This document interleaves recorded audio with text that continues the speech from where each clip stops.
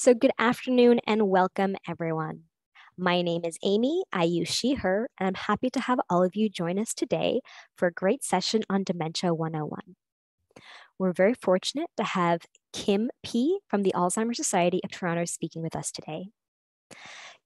Kim is a caregiver education coordinator at the Alzheimer's Society of Toronto, and she delivers education sessions to increase family caregivers' awareness on Alzheimer's disease and other related dementias, as well as other dementia topics relevant to caregivers. Prior to working at the Alzheimer's Society of Toronto, Kim completed her Master's of Social Work degree with a specialization in health and mental health. As part of her Master's of Social Work practicum, she gained experience in working with physically and cognitively frail older adults at Sunnybrook Health Science Center. She is passionate about raising awareness and support for families, caregivers, and individuals who are affected by Alzheimer's disease and other related dementias. And so I hope that we can all take away a few great tidbits from Kim today. And with that, Kim, I'm happy to hand things over to you. All right, so welcome again, everyone, to today's presentation called Dementia 101. And this is an introduction to Alzheimer's disease and other dementias. So the learning objectives for today, we're going to talk about the difference between Alzheimer's disease and the term dementia. We'll talk about some of the brain changes that happen with someone living with Alzheimer's disease. I will try to show a video, hopefully that works. Then I'll talk about ways that we can support the person's symptoms and their remaining strengths. We'll specifically discuss the seven A's of dementia. And then coming to the end of the presentation, I'll talk a little bit about self-care and how important it is that we take care of ourselves in the role of caregivers. And lastly, I will talk about some of the supports and services available to you in the community, specifically uh, the ones that we offer through the Alzheimer's Society of Toronto. So we'll start off by asking the question, what is dementia? So a lot of people think that dementia is a specific disease, but it's actually not. Dementia is the umbrella term that we use to describe a set of symptoms that include things like loss of memory, understanding, judgment, and other cognitive abilities such as changes in mood and behavior. So to give you an analogy, say you're not feeling well and then you go to the doctor, the doctor might ask you, you know, what are your symptoms? You might tell the doctor that you have a runny nose, a cough, maybe you're sneezing. These are your symptoms, but what is the cause behind these symptoms? It may be that perhaps you have a flu, a cold, or it could be allergies. So, similarly with dementia, dementia can be the cause of many different things. One potential cause is Alzheimer's disease, but it's certainly not the only reason why a person may experience these symptoms. Dementia is caused by irreversible disorders that affect the brain. However, there are some conditions that produce symptoms that are similar to dementia, but unlike dementia, these symptoms can actually be treated.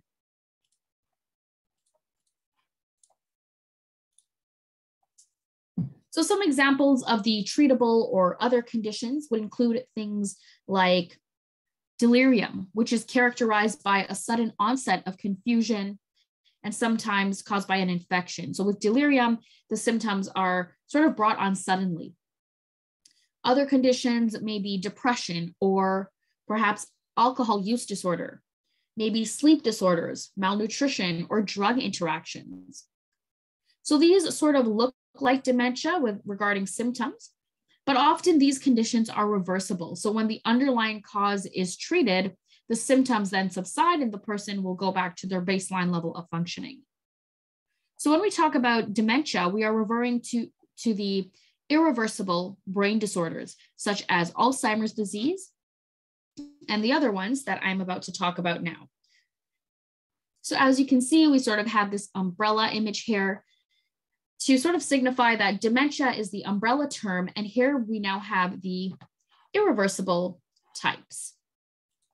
And I'll talk briefly about each of these just to give you an idea of what they may look like. So the first one is Alzheimer's disease.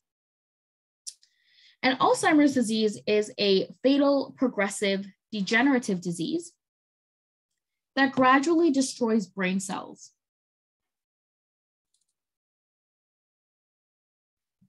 Typically, what we see with Alzheimer's disease, you may notice some memory loss, changes in mood and behavior. And for some people, they have difficulty performing day to day tasks. Next, we have frontotemporal dementia. So this affects the frontal lobes of the brain, and these are areas generally associated with our personality and our behavior. So here, when someone has frontotemporal dementia, you may notice more prominently changes in personality and changes in their behavior. So for example, the person may be going from, from a, you know, someone who's very shy to now being very outgoing. Or maybe the opposite. Maybe they're very outgoing and now they're very shy. A behavioral change that you may see with frontotemporal dementia, perhaps inappropriate social behavior and lack of insight such as individual laughing at a funeral. Next, we have Lewy body dementia. So this affects areas of the brain that involve thinking and movement. And there are three common characteristics of this. The first one is that the person would have Parkinson-like symptoms. So this is where we see problems with movement, muscle stiffness, and tremors. The second characteristic would include hallucinations. So seeing or hearing things that are not real. The third one or characteristic would be a fluctuation of symptoms.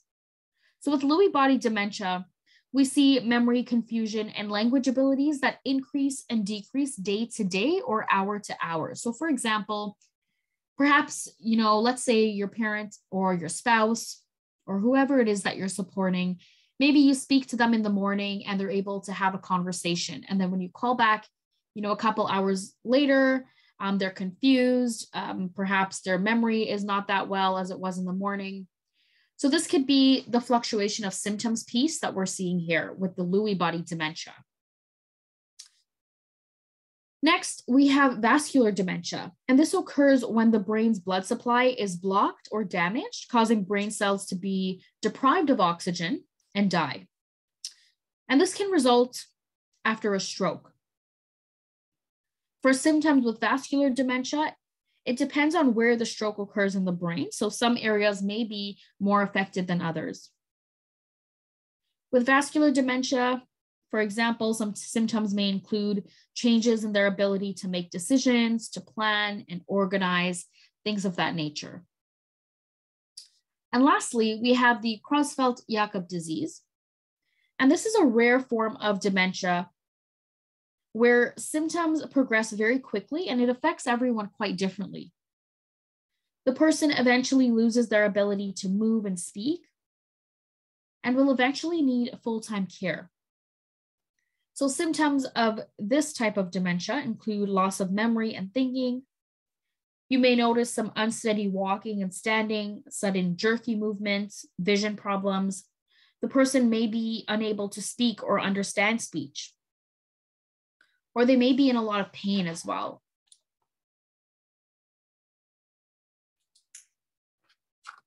All right, so now we'll talk a little bit about making a diagnosis. What does that look like?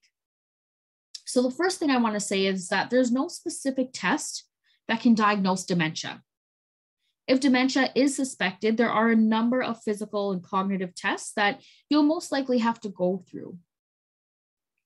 So the first thing would be medical history.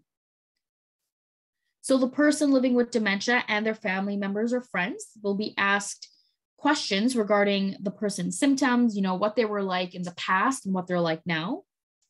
And then they will be asked questions about past illnesses and about family, medical, and psychiatric history as well. Then there's the mental status exam. So this part of, you know, this little battery of tests sort of looks at the person's sense of time and place and their ability to remember, express themselves, and do simple calculations. So, for example, they may be given exercises such as, you know, recalling words and objects or drawing and spelling. Or they may be asked questions such as, What year was it? Then there's a physical exam. And this is done to help rule out any other causes. A physical exam will be done to perhaps look at your heart, the person's lung, liver, kidneys, or thyroid problems that may be causing the symptoms. There are also laboratory tests. So here, detailed blood work will be ordered to help detect problems such as anemia, diabetes, thyroid problems, again, looking for infections, and all of these things that may be contributing to the symptoms that we're seeing. There may be a psychiatric evaluation or exam that needs to be done as well to rule out other illnesses such as depression, which can also cause symptoms similar to Alzheimer's disease. And then perhaps you may have to get a neuropsychological test completed as well. So that looks at memory, reasoning, writing, things like that. So this is sort of what the process may look like. For some people, they go through all of these. For other people, maybe just a couple of things.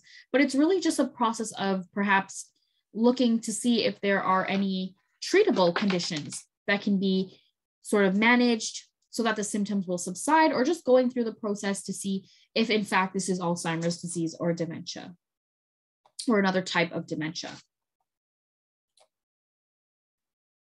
So here we talk a little bit about early diagnosis and why it's important. And I'm just going to show you a quick video here. So just bear with me one moment as I pull it up.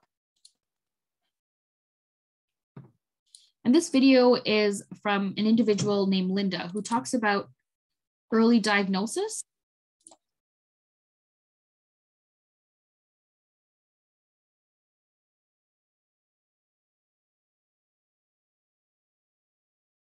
All right, so that video, Linda talks a little bit about the importance of early diagnosis, but also some of the benefits of early diagnosis. So, for example, she talked about being able to understand what may be going on for the person. You know, what are these symptoms? Why are they happening? So, getting that diagnosis, she was able to understand for herself. Also, getting support earlier on and how that can benefit her and her family and the person that she's supporting. For example, getting access to resources, planning ahead, and getting that education can help contribute to that better quality of life for both the person living with dementia, but also for the family and everyone involved in their care. Now we'll talk a little bit about the 10 warning signs of Alzheimer's disease. So we just talked about, you know, getting an early diagnosis, why that's important. So how do we even get to that step of looking for a diagnosis? So these are some warning signs that we wanted to share with you all. And I'll also be sending a link with this information. So um, you will have that readily available as well as the slides. So if you see any of these in the person that you're supporting, you may want to connect with your doctor um, or your physician to perhaps inquire about, you know, is this Alzheimer's disease? The first thing you may notice is that the person, the person's memory is impacted. They may have the memory loss that affects their sort of day to day abilities. For example, forgetting things often, or maybe they're not able to retain new information. The second sign, perhaps they're having difficulty performing tasks that are familiar to them, such as preparing a meal or getting themselves dressed. The third sign, you may notice that they're having problems with their language. And when I say this, I mean they're forgetting words or they're substituting words that don't really fit the context of what they're saying. The fourth sign, you may notice that they're having some problems with orientation to time and space. So they may not know perhaps what day of the week it is. Or maybe they're getting lost in a familiar place like the home, or maybe they used to go to a mall every afternoon for a walk. Maybe they're now getting lost in that mall. The fifth sign is impaired judgment. So perhaps they're not recognizing a medical problem that needs attention. Or as you see in this image here, the individual is wearing light clothing on a cold day. So uh, not wearing any mitts, not wearing any uh, boots or a warm jacket. So you may notice this, and this could be perhaps attributed to their impaired judgment. The sixth sign is problems with abstract thinking. So you may notice that the person you're supporting is having trouble understanding what numbers are and what they're used for. The seventh sign, you may notice that the individual is misplacing things. And when we say this, we're talking about, you know, putting things in strange places. Like you see in the image, putting a dress in the refrigerator or a wristwatch in the sugar bowl. The eighth sign you may notice would be changes in their mood and their behavior. So maybe you're seeing some, some mood swings. Or perhaps they've gone from being a very easygoing person to now, now being very quick tempered. The ninth sign you may notice would be perhaps changes in personality. So maybe they're behaving really out of character, perhaps becoming suspicious or fearful. And the 10th sign is a loss of initiative. Maybe they're losing interest in spending time with their friends, their family, or maybe they're even losing interest in doing things that they once enjoyed or their favorite activities. So if you're noticing any of these signs in the person that you're supporting,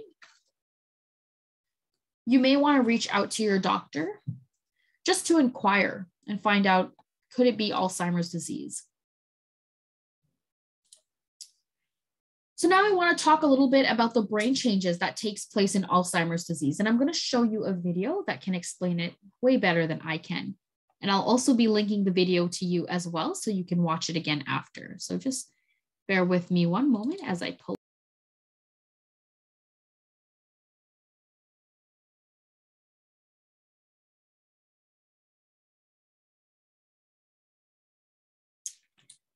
All right, so that was just a very quick video about the brain and how Alzheimer's disease is sort of impacting the brain. All right, so just making sure you're able to see my slides again, Amy, if you can just give me a thumbs up, perfect. Yeah, so just to reiterate some things, you know, with the healthy brain, we see that messages are sent by these electrical impulses, and then they're passed from one neuron to the next. And this process takes place for everything that the body sees, interprets, and does. With the person living with Alzheimer's disease, in their brain, there are two structures that are contributing to the changes, and we heard about the plaques and the tangles. So if you do have any more additional questions about Alzheimer's disease in the brain and what that looks like, I highly encourage you to take a look again at the video. But just one more thing I wanted to share with you is that we also see a lot of shrinkage in the brain for someone with Alzheimer's disease. So as you can see here, we're looking at the two photos.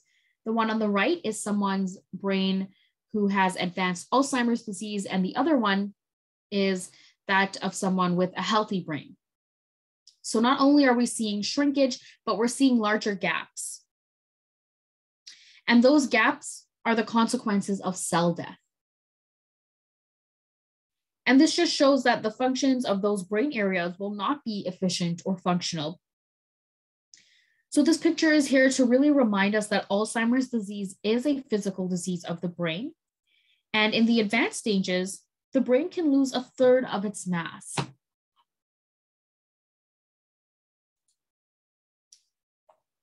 So here we have the, the journey. What does it look like? This is a visual reminder that the disease is progressive and will continue to get worse and may even end in death. So we see here that some people may experience forgetfulness or repetitive questions, problems with self-care, incontinence issues, maybe lose their communication abilities.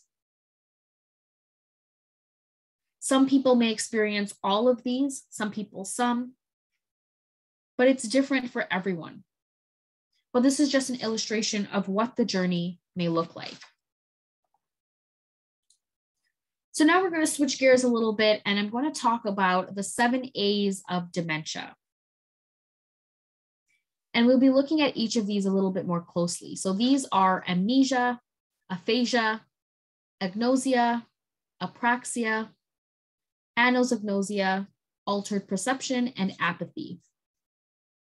And these are sort of some of the things that we see, some of the characteristics that we see in the people living with dementia that we are supporting. So let's start with amnesia. Amnesia really means memory loss. So when we're talking about memory loss, we're talking about short-term memory and long-term memory. And as you see here on the slide, it says last memories in are the first ones lost. So this means that if you tell them to, you know, warm up their food in the microwave for a couple of minutes, they may not remember what you told them. But if you're asking them about a memory that happened in their past, maybe their wedding day, they will remember that. So the last memories in, meaning the one that you just did, would be the first ones um, that are lost. And because of this, the person may become very repetitive because they may not remember what you just told them, or they may not remember that they just asked you the question that they have to ask. Some strategies that can help us with amnesia can be to perhaps follow a daily schedule. Maybe if you're asking them to take medication or to eat at certain times, perhaps having that schedule laid out on a calendar. So when they come down, they can see that laid out, they know what's sort of coming up. Another thing is to use signs around the home. They may not remember, you know, where the washroom is or where the bedroom is. You can also put up pictures in the room of their family members, their friends, people who are important to them. The second A is aphasia. And aphasia means loss of language. This includes the loss of the ability to speak or understand spoken, written, or sign language. So the person may not be aware that their speech does not make sense to others. And there are two types of aphasia there's expressive and receptive. With expressive aphasia, the person living with dementia has difficulty expressing themselves or finding the right words and putting the right words in the right order to form words or sentences. With receptive aphasia, the person has difficulty understanding what others are saying. And this can make conversations overwhelming for a person living with dementia. They can easily become lost in the conversation. And because of that, you may notice that they're withdrawing a little bit more. For some people, they may revert back to their first language, and this can also be because of the amnesia. They may not remember when they learned English, so they may go back to speaking their mother tongue language. And for some folks, they may become mute. So, what are some strategies here? We can perhaps really focus on nonverbal communication, such as using gestures or using touch, smiling, speaking slowly and giving them more time to respond may be a strategy as well. The third A is agnosia.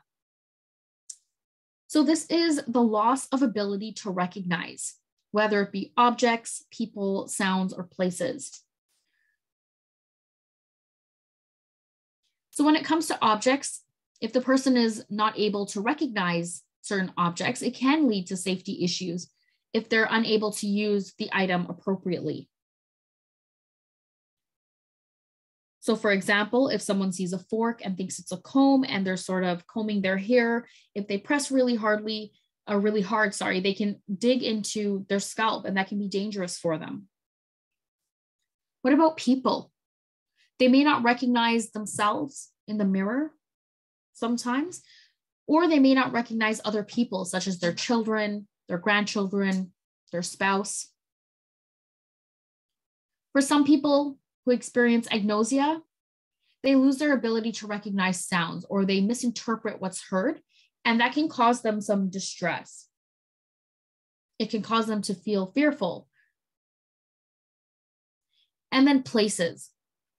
If they're unable to recognize places, they may become lost in places that were once familiar to them, whether it be a grocery store that they perhaps used to go to all the time, or maybe even in their own home. So some strategies for this could be, you know, demonstrating how to use an object if it's an object, or keeping things, dangerous objects or items that could be dangerous, sort of out of sight, out of reach. Um, another thing, if they're becoming lost in familiar places, using those cues, those arrows, putting up signs in certain places, even if it's at the home, things of that nature. Next, we have apraxia. So apraxia is the loss of purposeful movement. When someone's experiencing apraxia, they lose their ability to plan, to sequence, and to carry out the steps of a task. Specifically complex tasks such as banking, cooking, dressing, all of these things, these complex tasks can become quite overwhelming for the person. We often see that, you know, their sense of space eventually gets impacted and they may not know, you know, front to back or left to right. And because of that, they may become very dependent on family members, on healthcare providers for their support with their activities of daily living, such as showering, getting dressed, things of that nature. And some strategies here with apraxia could be to break down tasks into smaller steps. Perhaps you need to just go one thing at a time with the individual. You may need to have adaptive clothing for example, using Velcro instead of zippers or buttons, that may be helpful. And maybe when you are giving them instructions, you can try to reduce any background noise or any distractions that may be there when you're giving them instructions on, you know, put your jacket on. What is the first step? When you're breaking down those steps, just making sure that you know, it isn't a crowded area. There aren't things like the TV on in the background, making sure that the person is able to focus on what you're telling them.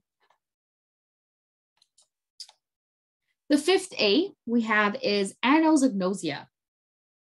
So here, this is where there's loss of knowledge of the illness. So the person might not be aware of the symptoms they're experiencing.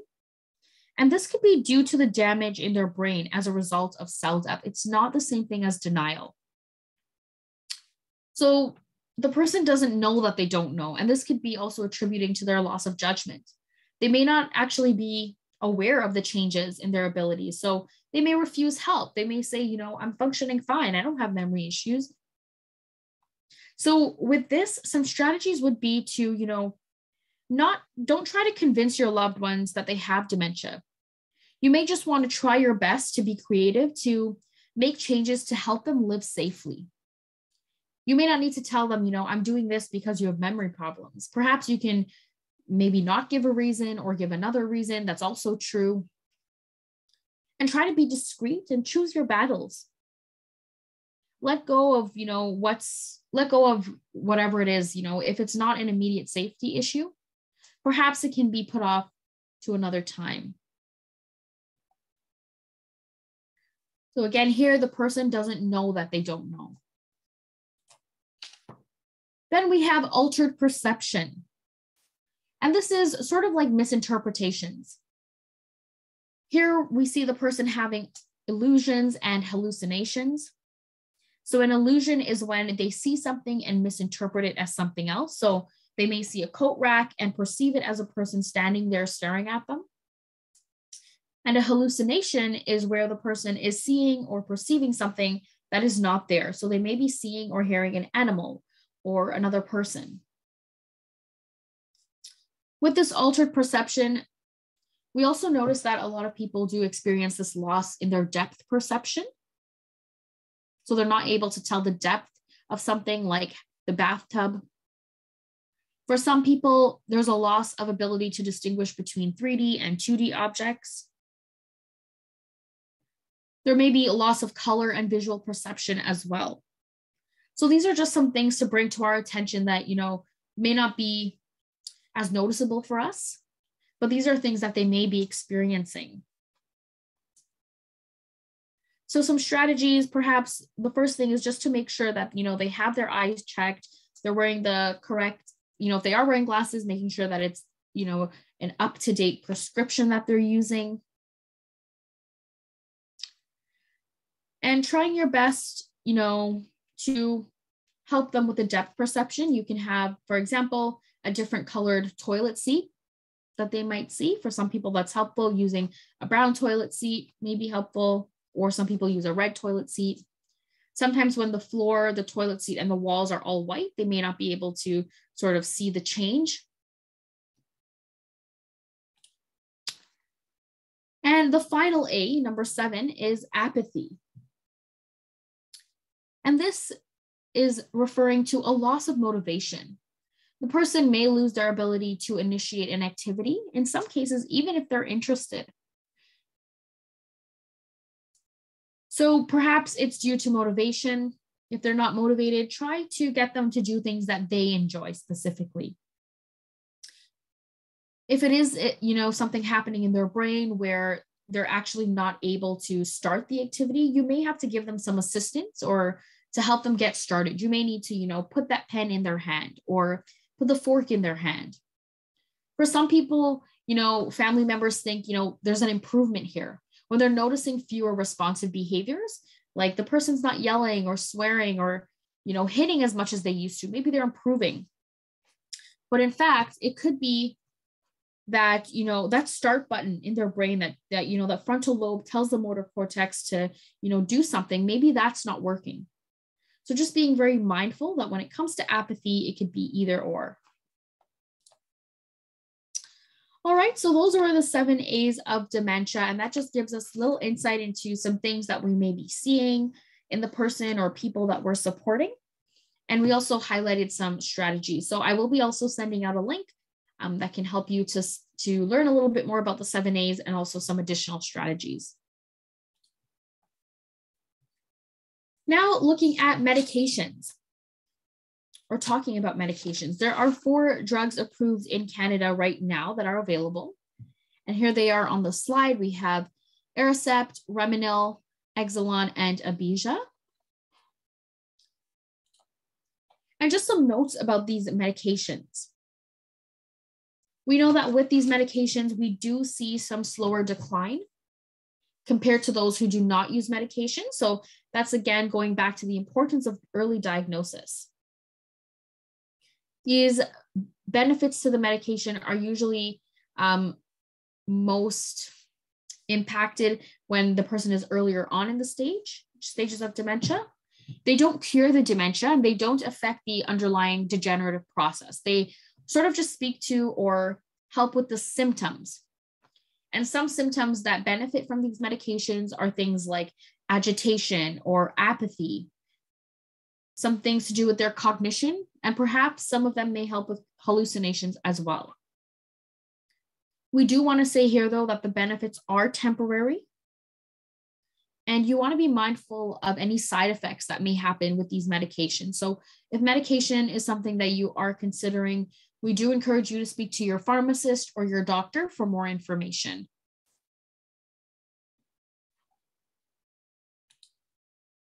There are also non-drug approaches that you may want to consider.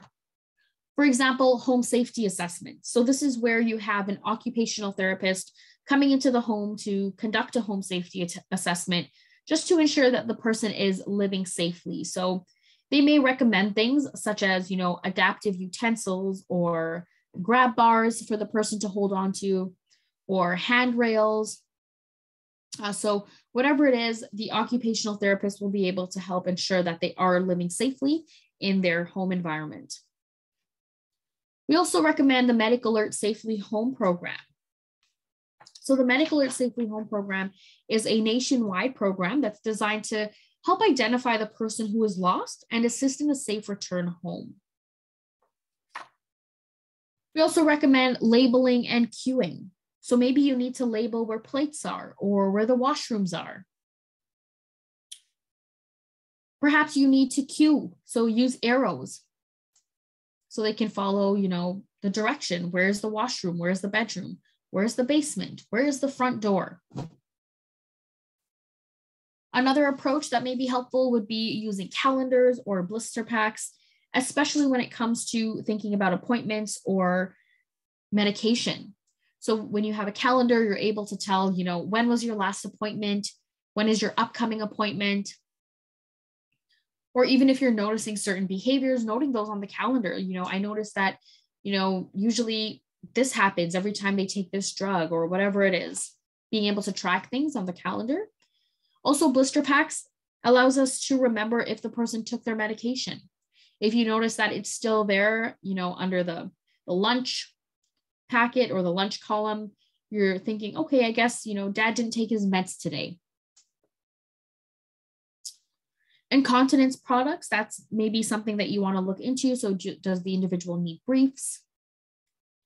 And we always encourage people to engage with advanced care planning. So, here you're talking about what are the person's or the family's desires and wishes? What would they like to happen in the event that they're unable to make decisions? So, if they're in the very early stages of dementia, you know, perhaps you're still able to have these conversations, you know, mom when you're unable to make decisions on your own what would you like me to do for you? So that you know you're able to hear what they would like and you're able to help advocate for them so they their wishes are able to sort of come come true for them. And then also considering palliative care what would they like to see near the end of life stages would they like to be in hospital would they like to be at home would they like to have you know someone from their cultural or religious group present? Would they like to have their family members present? So these are just some non-drug approaches that we do like to sort of put on your radar to think about as you go through the dementia journey. And having said all of that, you know, everyone's different. So here's a quote that we like to share. And it says, if you have met one person with dementia, you've only met one person. That is, each individual will talk, act, remember, and behave differently, not simply because of what stage of dementia they're in, but because they are who they are. So, this really highlights the fact that each person is unique and each person with dementia is unique. They will have a unique combination of weaknesses and strengths. And we want to remember to focus on the person rather than the disease. And we really like this quote because it focuses on the person and this idea of person centered care, their likes, their morals, their dislikes, their values. And just remembering that, you know, although dementia has stages, every single person will sort of present differently, even if they're in the same stage. And we want to make sure that we are focusing on their remaining strengths. Look for those preserved strengths in the individual and capitalize on those areas. So, for example, do they have a sense of humor? Is this something that you can tap into? Is there anything that we can laugh about? What about their long term memory? Earlier, I talked about amnesia and their long term memory being intact longer than their short term memory. So perhaps, you know, meeting them where they're at, looking through photo albums with them, or singing songs together from their past that they enjoyed, personalized music. You may also want to focus on their primary motor skills if they're able to walk and exercise using those larger muscles. What about their social abilities? Are they still able to socialize with family members and friends? Is this something that they enjoy? And really providing opportunities for that if they're if they're able to. You also want to focus on their emotional awareness and memory. Some people may not remember what you said to them, but we know that their emotional memory is also intact. So they will remember how you made them feel. and try your best to incorporate the senses. So for example, if you want to engage in a meaningful activity with them, perhaps you can, you know, play a game like guess that scent, where you have different scents, you allow them to smell it, and you have them guess, you know, what that scent is. And of course, you use scents that they're familiar with.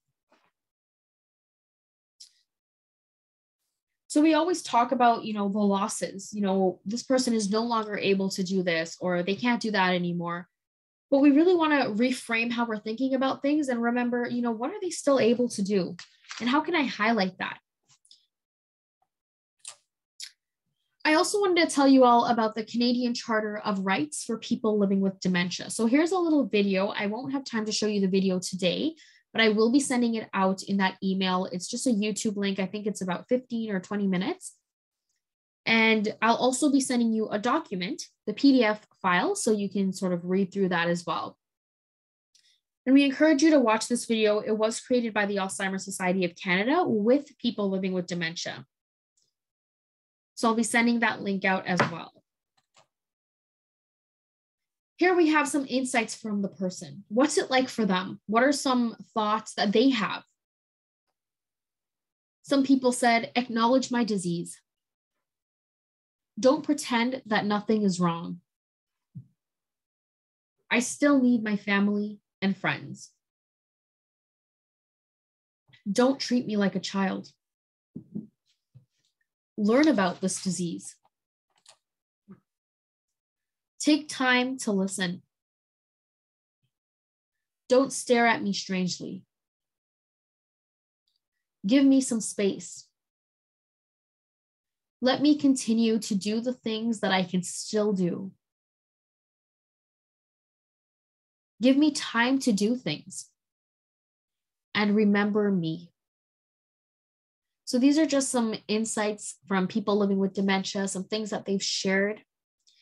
And it's a great memory. It's a great thing to keep in mind, to keep up, you know, at the forefront of our mind when we're communicating with the person or when we're sort of in the same space of them with them. We want to remember who they are, respect them, and keep these things in mind.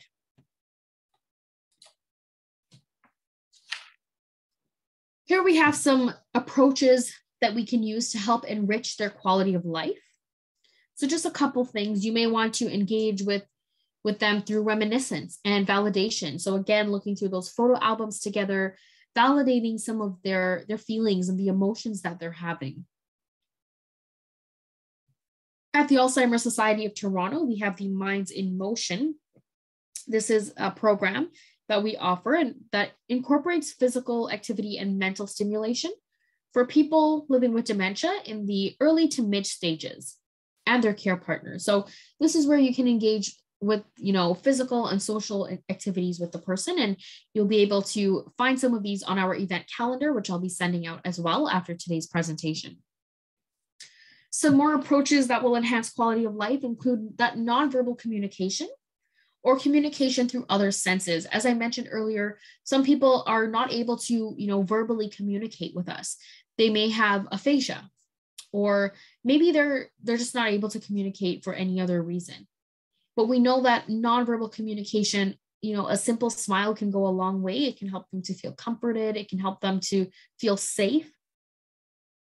And then there are other senses that you can communicate with them through, such as touch, maybe music, through the sound, maybe visually, maybe communicating by looking through art together. So these are some things that you can do to help enrich their quality of life. So I mentioned music, you can, you know, perhaps a massage, aromatherapy, pet therapy, doll therapy, painting, and photography. These are some things that may be enjoyable to the person, maybe even gardening or watching the sunsets, holding hands with the individual. Some people find them very comforting.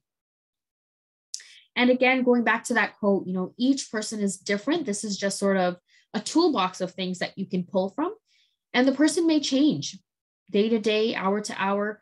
One day they may like one thing, the other day they may like something else. So it's just about, you know, building in our toolbox and being flexible in terms of how we can support them.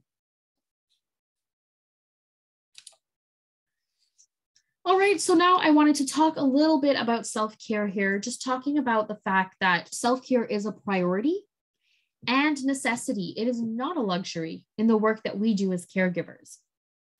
So we have an analogy here where we ask you all to imagine yourself as a pitcher of water. And imagine, you know, there's a pitcher of water and there are four glasses in front in front of you.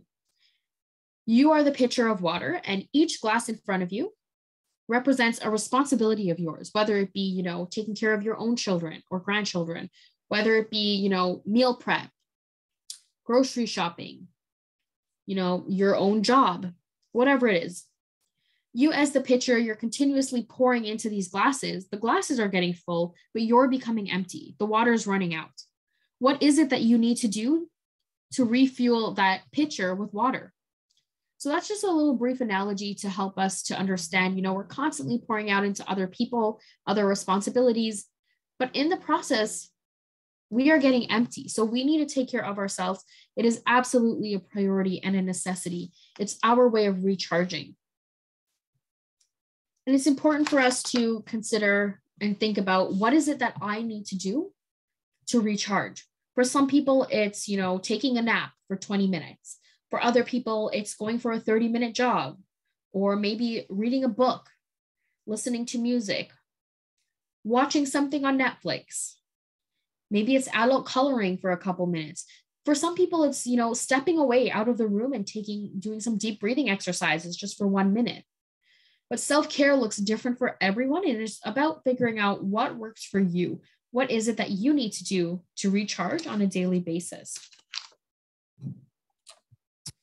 All right, so that's it for me. So now I'll talk a little bit about some of the programs and services before I open the floor up to any questions.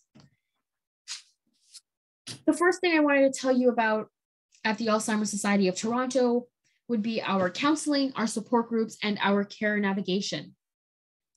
So at the Alzheimer's Society of Toronto, we have free and confidential counseling. So you'd be able to speak with one of our highly trained social workers one on one to discuss things like communication strategies, how to reduce caregiver stress, how to cope with responsive behaviors, getting that diagnosis, finding community support services, and just for that emotional support as you may be transitioning into the role of caregiver. We also have support groups where you can connect with people going through similar situations to that of your own. And it's great to connect with other people to share resources, experiences. We also have care navigators. So if you're looking for a, a service and you're having difficulty navigating the healthcare system, our care navigators can assist you in finding what you're looking for and perhaps provide you with a list um, that you can start with.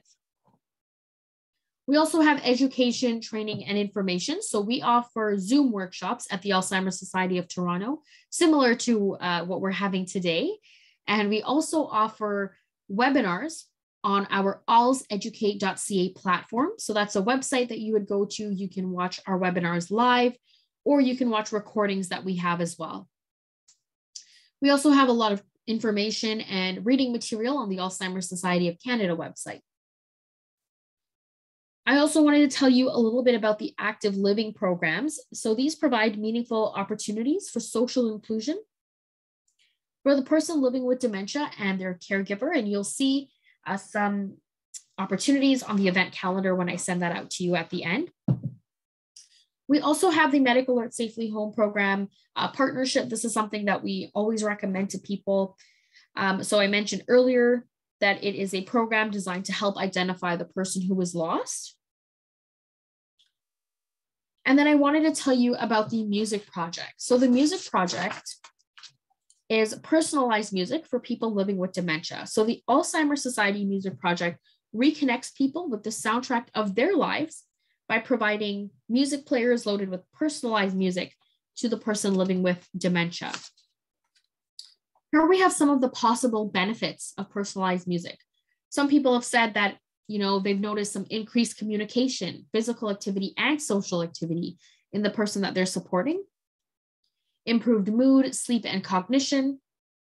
For some people, these songs reignite older memories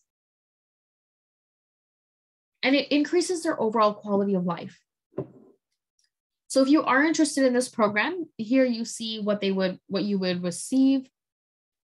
In the music package, you'll get a personalized music player, a set of over-the-ear headphones, one wall charger, a charging cable, and an instruction booklet. One thing we want to highlight here is that music is beneficial in all stages of dementia in the very early stages, the middle stages, but also the very late and palliative stages as well. There is eligibility criteria for the program. So the person does need to have a suspected or diagnosed dementia or cognitive impairment. They must live in the M postal code, either the recipient or their family or friend. They must agree to use the program materials as directed, to return the materials to us when the original recipient is uh, no longer using it, and then to provide us with feedback so that we can continue to improve our programs and services. So if you are interested in this program, you can also always take a look at the website www.musicproject.ca or you can phone into our main line at 416-322-6560 and then you can ask them about it there as well. You will be getting a copy of the slides, so you'll have all of this information readily available to you as well. And I also wanted to tell you about the Finding Your Way program. So the Finding Your Way program is a province-wide program. The target group of this program include people living with dementia, their caregivers, and the general community. Finding Your Way aims to raise public awareness of the risk of people living with dementia going missing. Finding Your Way encourages families to create a safety plan, which includes filling out an identification kit that can be handed to the police if the person does go missing. And Finding Your Way also supports the safe return of people who do go missing by providing tip sheets and information on what to do during and after a missing incident. So why is this program so important? Right now, there are actually 240,000 people in Ontario living with dementia. Six out of 10 of these people will go missing, often without warning. Half of those not found within 24 hours will be gravely injured or die. And in urban areas, 75% of missing individuals are found within 3.2 kilometers of their last location seen. So this really puts into perspective why this program is so important, not only for you know us and the people that we're supporting but also for anyone anyone that we may see you know maybe it's it is actually important if you notice someone who may be living with dementia who may be lost we want to be able to support them to help them find their way back home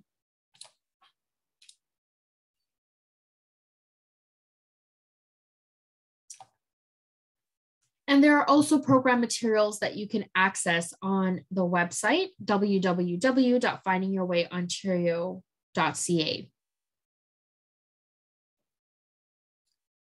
And there are materials available on the website in all of the languages that you see here, both reading material, but also videos in these languages that show real stories of people living with dementia and their families on their dementia journey.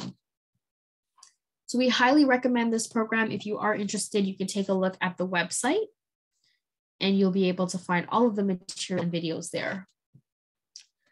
All right, so that's it for me. So thank you everyone for taking the time to attend today's presentation.